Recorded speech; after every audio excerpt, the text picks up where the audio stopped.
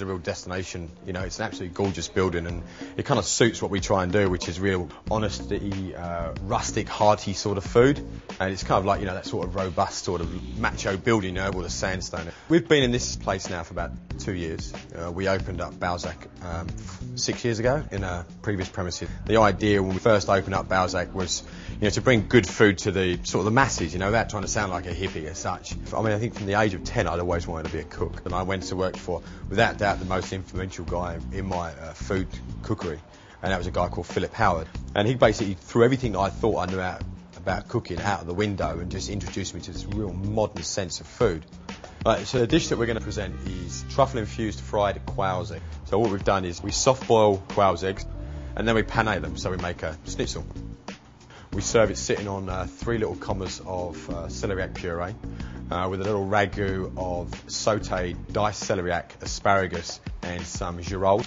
We show the quail eggs which are absolutely gorgeous and we finish the dish off with some uh, freshly shaved Margaret River truffles. These flavours work. Celeriac and truffle eggs and truffles, asparagus and truffle. These are classic marriages that have been done for the last hundred years. Once you actually kind of put them in your mouth and taste it, and, and the egg pops, and you still get a beautiful, lovely, runny yolk goes in, and just all marries and works very, very well. It's like having a sort of deconstructed sort of omelette.